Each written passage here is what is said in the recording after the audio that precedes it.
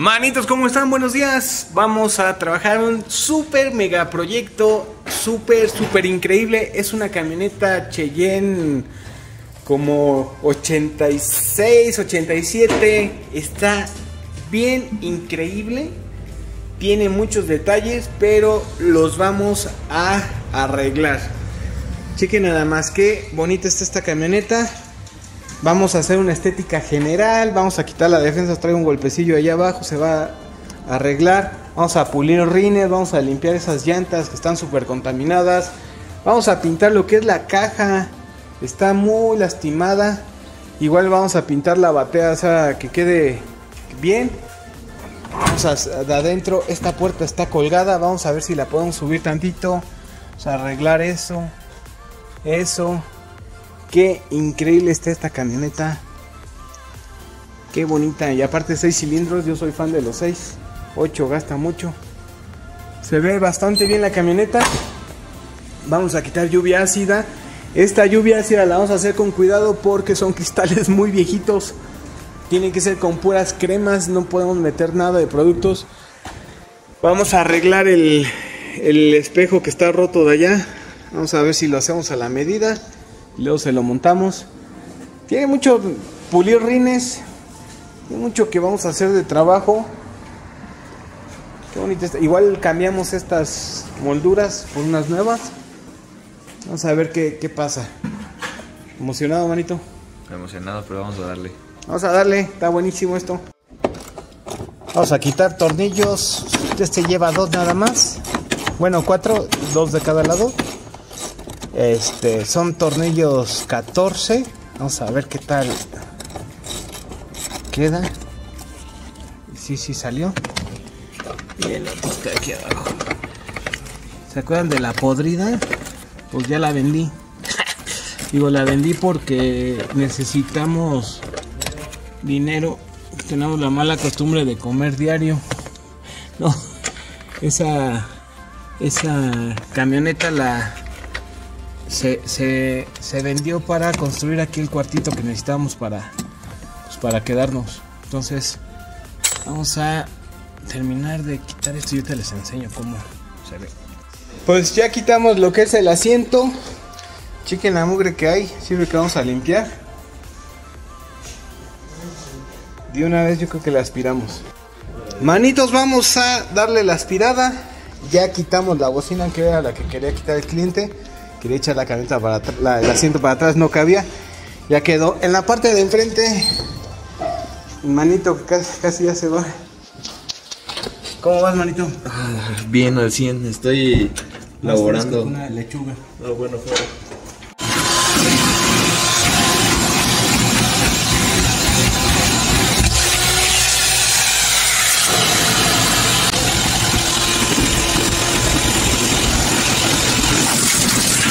Vamos a quitar lo más que se pueda de pintura. Está bien duro. Tenemos que llegar a esto. Vamos a usar las garlopas. Vamos a usar el, de disco. Es que el de disco lo limpia muy lento, le da en la torre rapidísimo a la, a la madera, a las lijas.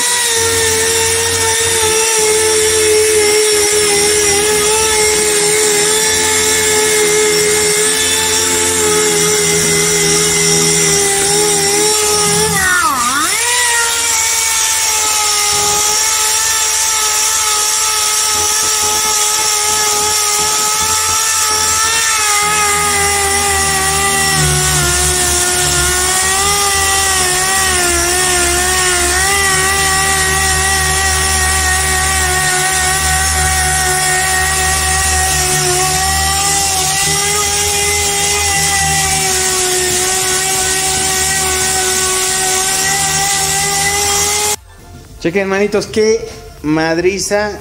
Está súper dura la pintura, como es poroso, está todo penetrado.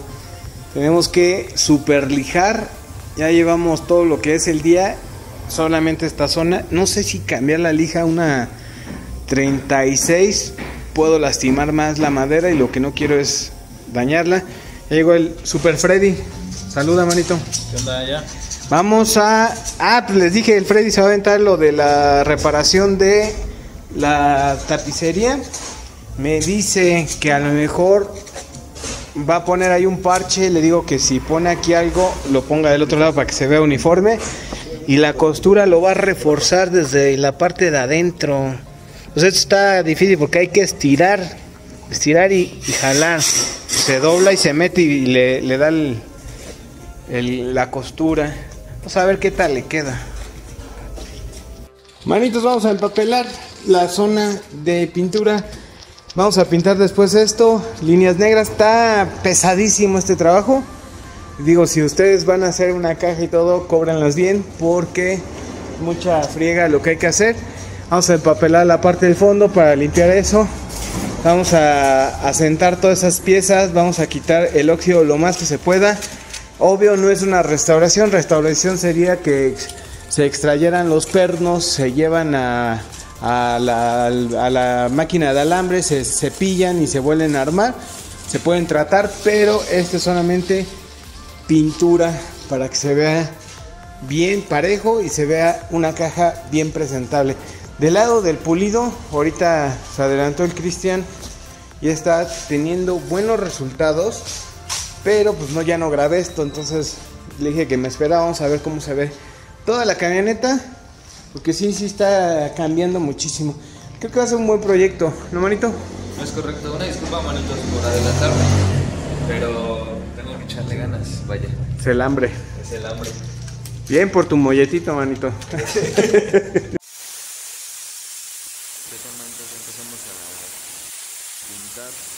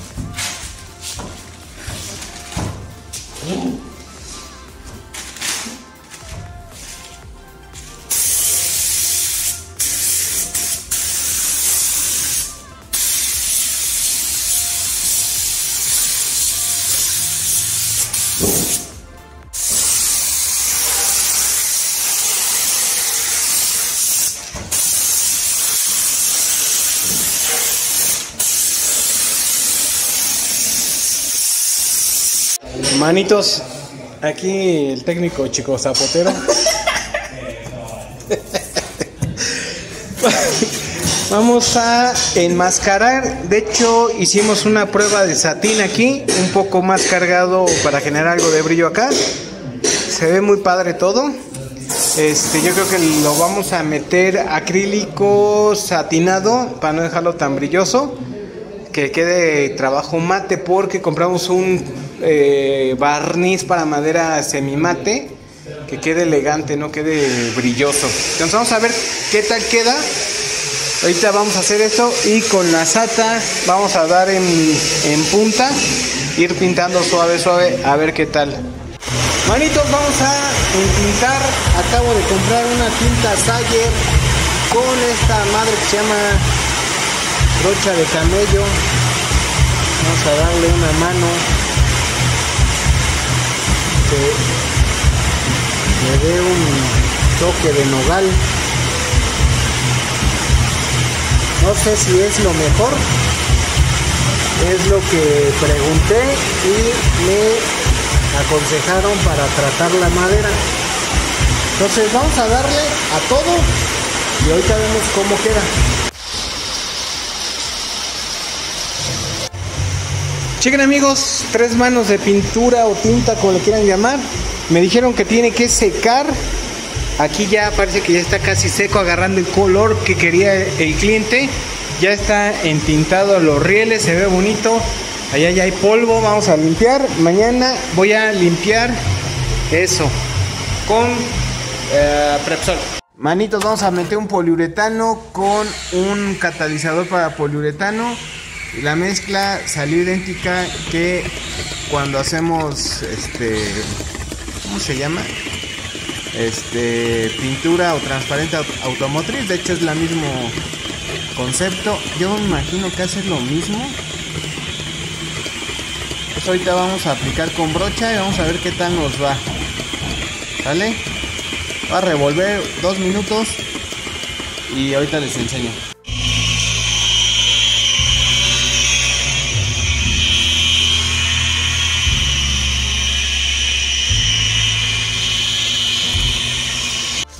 Manitos, vamos a darle una manita a estos rines. Vamos a ver qué hacemos. Vamos a ponerle un, un ácido para quitar toda la basura que trae.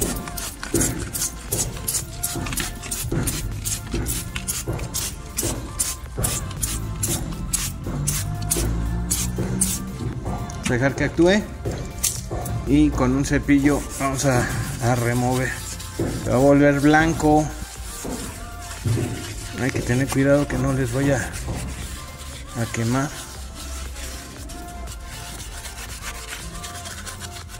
y usen una mascarilla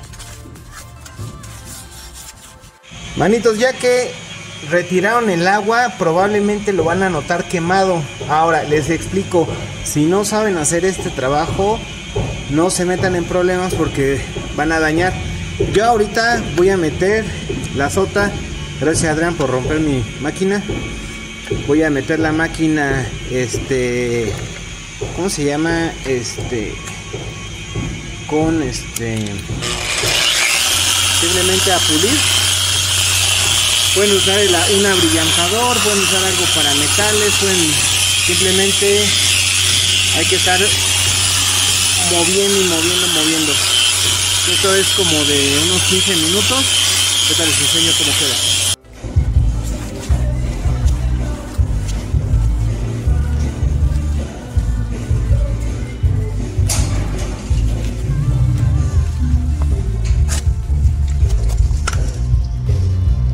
Manitos, vamos a hacer la fase de corrección. Estamos utilizando lo que es lana y la eh, rotativa. Eh, ya hicimos una prueba. De hecho, aquí está la prueba con brillo y no nos gustó mucho. Entonces, la técnica que vamos a hacer ahorita es una fase de lana con un pulidor de corte de alto rendimiento, que es el Apex. Vamos a hacer las secciones. ¿Cuánto de material? Tres gotas nada más para una sección de unos 45 metros, de este 45 centímetros. Y este vamos a pasarlo tres veces y después viene el brillo con una borla de acabado. Ahorita les enseño cómo se ve. Manitos, vamos a poner la moldura que falta. Esta moldura no es de la misma calidad y grosor de la anterior, pero cumple a ver si el dueño quiere que se pongan eh, todas o solamente reemplazar el pedazo que faltaba, ya que pues no es la misma. Es como de farmacias Guadalajara. Siempre más barato. Que tranza pare. ya ponle pari. Manitos, le dije las indicaciones a Cristian de que hay que calentar para que pegue bien el pegamento. Correcto. ¿Verdad, Sí, señor rapero. señor rapero. Se le da para que el pegamento todavía tenga más adherencia. Y agarre la forma la pieza. Bien que bien agarra, ya no la puedes pegar.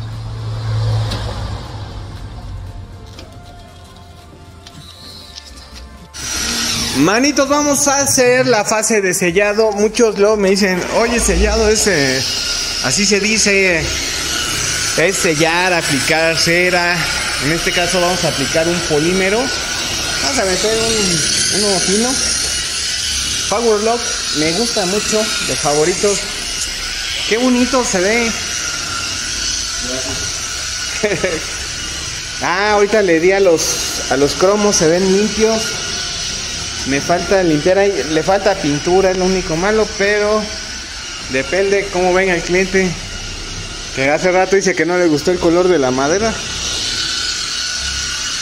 Entonces vamos a ver qué hacemos por él, un plus. Se ve bien, ahí vamos, ahí vamos. Ya limpiamos lluvia ácida de cristales. Se ven bien bonitos. Eh, costó mucho trabajo porque son cristales muy viejos. Híjoles, no, no, no. Vamos a dejar que seque 45 minutos y ahorita ya les enseño cómo queda. Manitos, hemos terminado. Les voy a enseñar cómo quedó.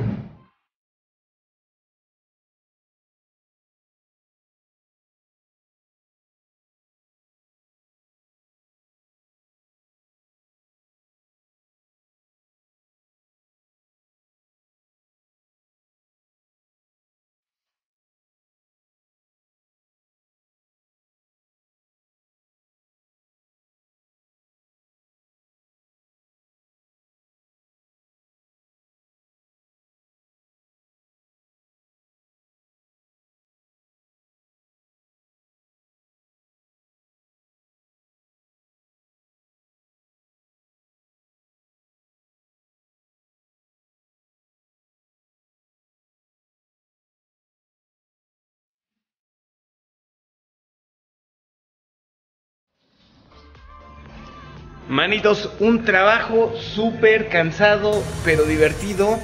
Al final fueron cuatro días de trabajo por dos personas. Estamos hablando de 8 horas diarias. Son 32 por persona, 64.